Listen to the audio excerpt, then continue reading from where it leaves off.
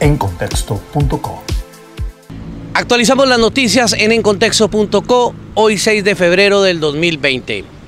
En el colegio de Cartagena volvió a escucharse el lío de las tierras de la hacienda Magulla, donde se edificaría el nuevo colegio de Shakira. El concejal Oscar Marín anunció un debate. Esa propiedad, los Hernández han puesto seis muertos ya. A más tardar mañana el sindicato del Cuerpo de Bomberos de Cartagena demandará disciplinar y penalmente al director de esa institución, Joel Barrios, por un aparente hecho de corrupción que involucra a 10 vehículos de los bomberos que debían haber sido chatarrizados y desaparecieron. Digamos de igual manera que más de mil personas han participado en los encuentros ordenados por el gobernador de Bolívar, Vicente Blelescaf, para entre todos los bolivarenses organizar el nuevo plan de desarrollo 2020-2023. Y finalmente este hombre, según la policía de Bolívar, está acusado de hacer parte del clan del Golfo, que opera en el sur de este departamento. Su captura se dio en el municipio de Achí.